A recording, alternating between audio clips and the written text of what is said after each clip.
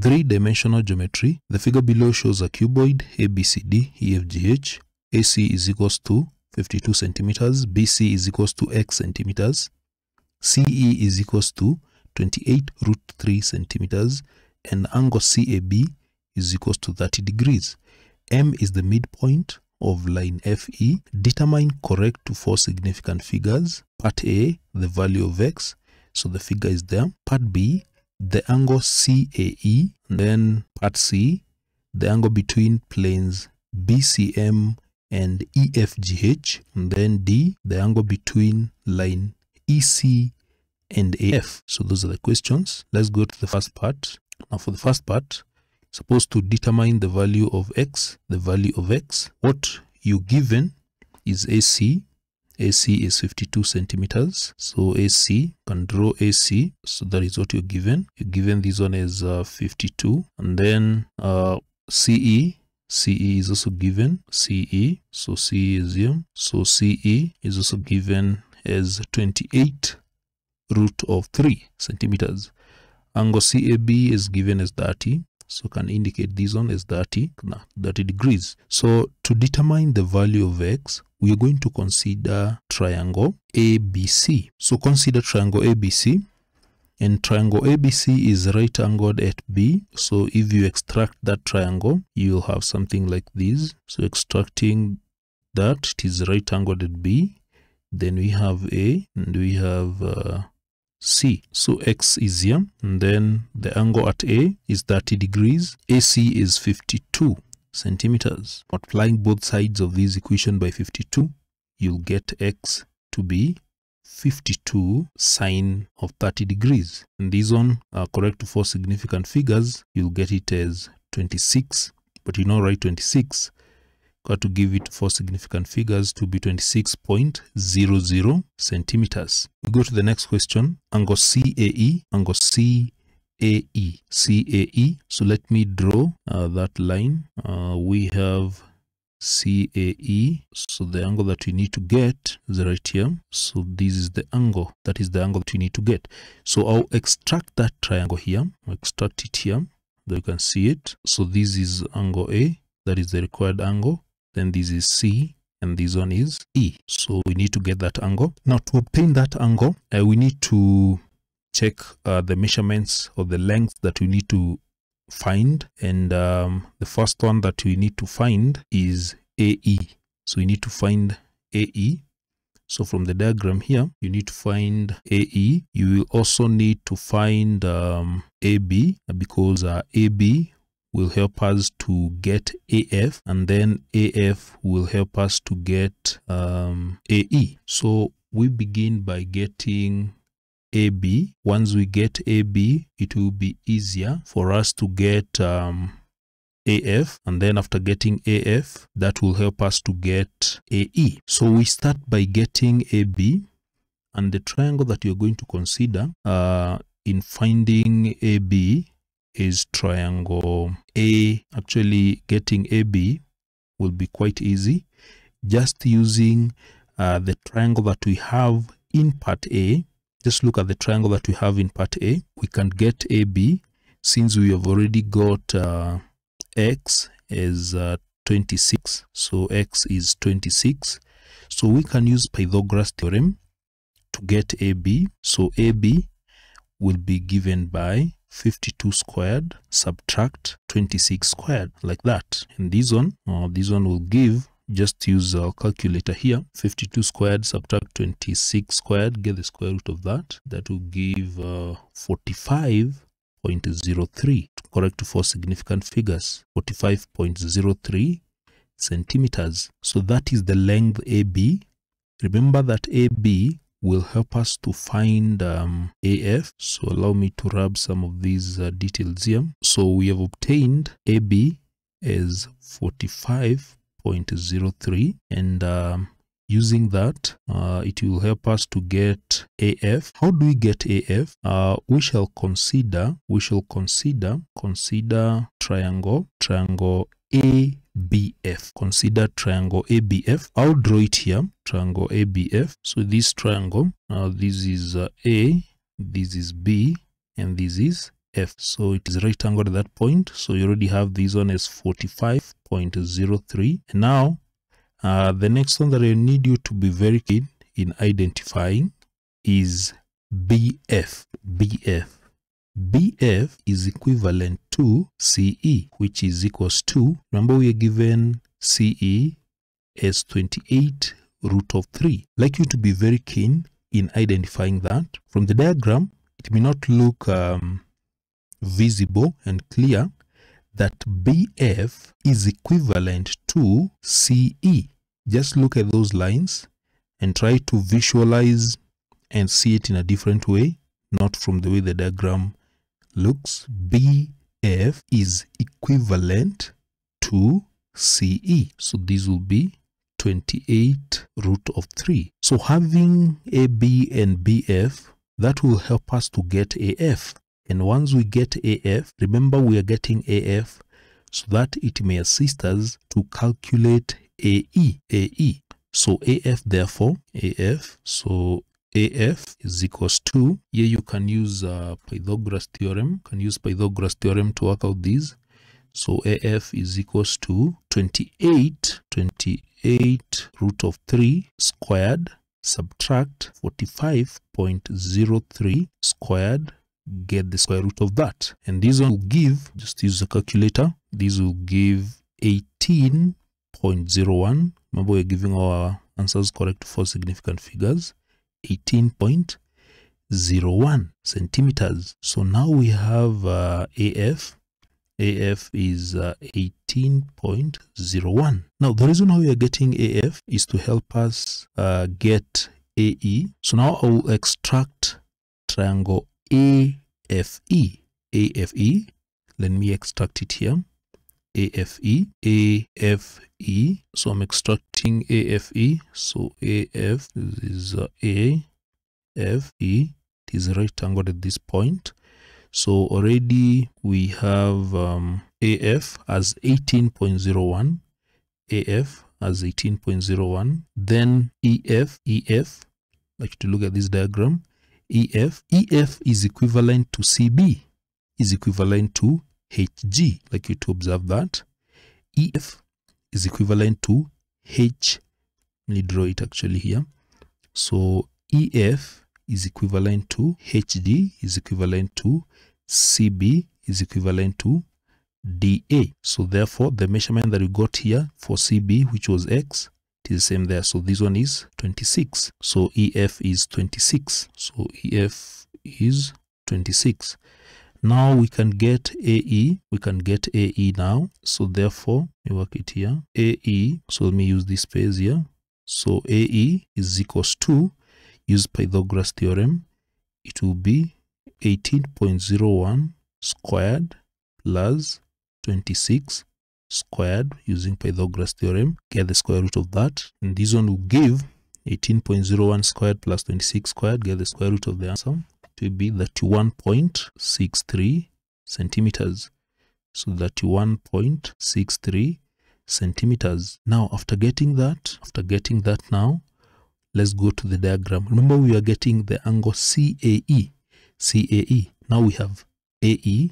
Look at this triangle that we had initially drawn here. So this one is 31.63. Then do we have AC? AC. AC is, uh, go to the diagram. AC was 52 from the diagram. Just look at it there.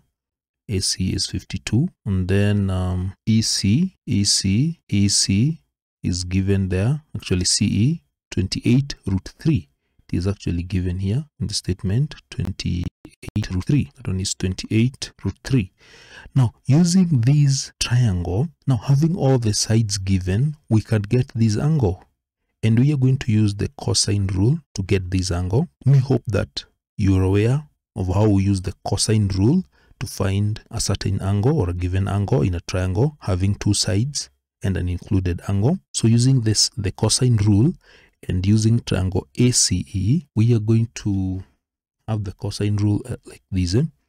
28 root 3, 28 root 3 squared is equals to 31.63 squared plus 52 squared minus 2 multiply by 52 to multiply by 52 multiply by the other side which is uh, 31.63 multiply by the cosine of angle A like that.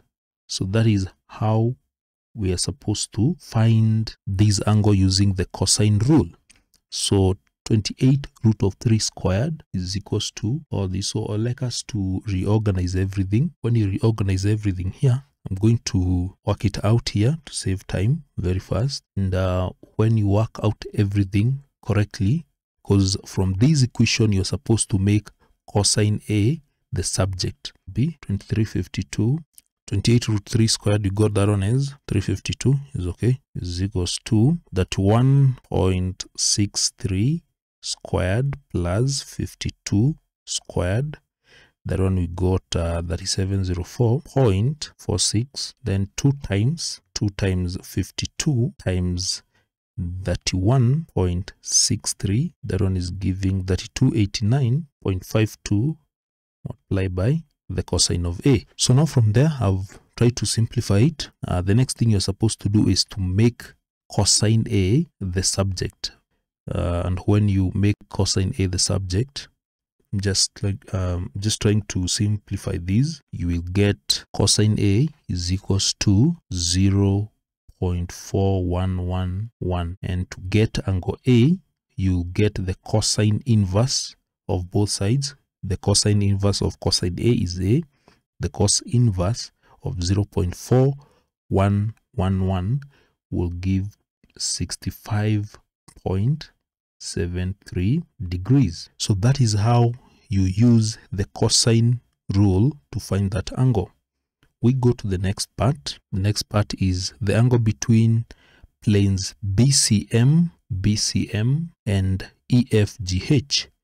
Those are the angle that is the angle between two planes, BCM and EFGH. So rub these on. So BCM, so B BCM, the plane may not be clear. Uh, B, C, and M, that plane, uh, when you look at the plane, it may not be very clear because of the way the diagram looks like. Uh, just look at BCM. May not be able to draw that on accurately so that it can be visible, but I'll try to extract it. And EFGH. EFGH is the base. EFGH is the base. So I will try to extract it here. Let me try to draw how it looks like. So it looks like this. Eh? So this will be, this is a B, C, and then this one is M and then we have the base we have the base of course the base is here i'm trying to simply do a sketch is a sketch what it looks like so the angle that you will need to calculate the angle between bcm and the base efgh this is how you're going to get it. You will simply draw a line line passing through the middle of that plane and uh, straight line that plane like that. So the angle that you require is this angle that is here. That will be the angle. So in this diagram if i can just illustrate it. It is this angle that will be here. So the required angle will be here. This will be the angle. That will be the angle between planes bcm bcm and the base. This is the base. Trying to draw here. EFGH trying to just extract it here so that you can see it properly. So that is the angle. So this is the required angle here. And this is the one that I had identified here. So this is the required angle between the two planes BCM and the base. The base is here. So to get that you will simply need to extract that triangle and uh, I can just extract it down here. So this is the triangle and that is the angle that is required. So from the diagram you can see that is the angle at m is the angle that you need the angle at m. So these measurements need to get these measurements. Uh, the measurement from m this distance from m we can call this point n. Uh, from m to n that is the same measurement as uh, ab ab that is the same measurement as ab ab and mn mn i've just named this one mn so ab mn and what is ab we had calculated that. Ab was 45 ab was 45 so this is the n so this will be 45.03 centimeters. And then that height that height let's come to that height. Uh, remember the height we got af so the height af is the same height that we should have here. This height that is here that height is equivalent with af we already got af and uh, af was here 18.01 we got it in part b 18.01 got it? Is 18.01 that. So using these two we can use tangent. We can use tangent to get this angle. So tangent of angle theta is equals to opposite divided by adjacent. So get uh, theta by simply dividing 18.01 divided by 45.03 the answer that you get you get the tan inverse and this one will give 21.80 degrees so that is part c the last part is the angle between, that is part D, the angle between line EC and AF. Line EC and AF. Line EC, so let me rub this, line EC, EC, so line EC is there, and AF, AF, AF is here. Those are skew lines lines that do not meet. So supposed to get that is the angle between two lines, skew lines that are not meeting. So how are you supposed to work out that? you simply need to translate to translate one line onto the other. For instance, in this case, look at AF. Look at AF. AF is uh, the same line. You translate it to DE. You bring it here, and now they are going to meet with this line, and therefore you just need to get the the the angle between them. So I will translate this line AF. I will translate it here to DE. So I will translate it here to DE like that. So you notice that this line AF and DE are the same. So I've translated AF to DE and now you can see the two lines are meeting now. You have these two lines now meeting. You get the angle between them.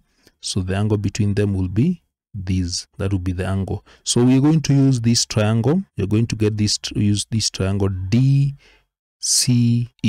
use that triangle and you can see it is right angled at D and we have all these measurements.